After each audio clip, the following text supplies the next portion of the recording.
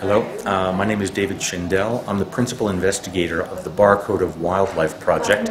It's funded by Google's Global Impact Awards, and we're here at BECA, Bioscience for uh, East and Central Africa, at the Institute for Livestock Research in, uh, Institute at, uh, in Nairobi, and we brought uh, a group of trainers and 20 scientists from Kenya together for a week of training.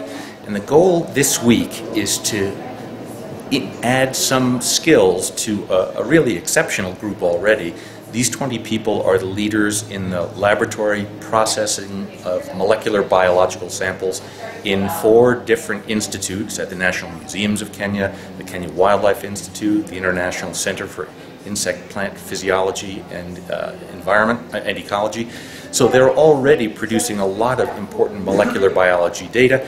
This week they're going to be focusing on DNA barcoding and this is highly standardized, high quality data that the police and prosecutors are going to use to investigate wildlife crime, poaching and trafficking of endangered species. So the evidence that they bring into court has to be very, very high quality.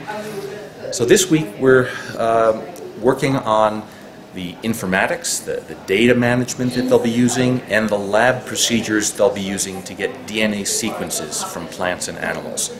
Uh, this is an exceptionally good lab at, at ILRI. They've been very kind at opening the labs to us. Their role is capacity building, and this project, in addition to helping the police and prosecutors in Kenya catch criminals who are uh, poaching your, your valuable species, we're also going to be raising the ability of Kenyan laboratories to work on a global scale. And Kenya is going to be one of the global leaders in the fight against wildlife crime using the latest biotechnology that you see around us all, uh, all around us here.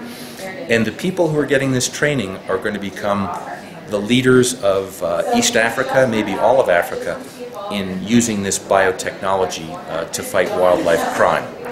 They've been selected because they already know how to do DNA research in the laboratory. What they're getting now is refinement of these skills to produce this very special kind of data. The DNA barcode is a section of the genome that evolves at just the right rate to tell one species from another. The way the universal product code, the barcode you, see in supermarkets, tells products apart, this little stretch of DNA tells species apart.